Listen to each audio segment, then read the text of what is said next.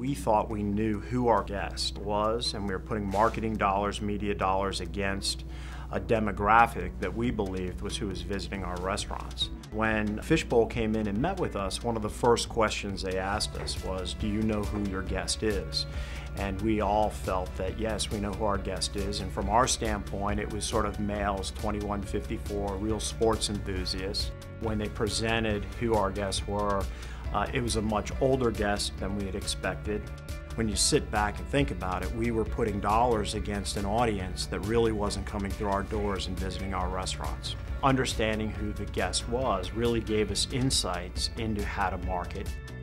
Well, I've been uh, working in the restaurant industry for just about 28 years now. In the restaurant space today, it's a very competitive landscape. We're all out there fighting for share of stomach and share of wallet. We're fighting for that traffic to come through our doors. And in a competitive space, it's difficult. In reality, the guests that come into our restaurant, they're individuals, not just from a demographic standpoint, but psychographic, life stage, their media preferences, the channels they use. What it did, and I like to say, is it took us from 30,000 feet down to 5,000 feet. And now we had four personas within our restaurant brand, four groups of people that we knew a lot about. We knew menu items that they ordered, right, and menu mix.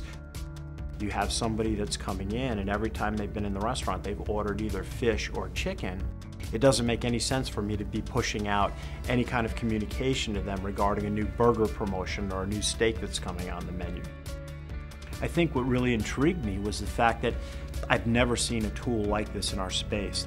We have such deep insights into who our guest is, and we can take action on those insights and create these type of strategies, whether it's menu, it's marketing from a media strategy to communication strategy, down to site selection.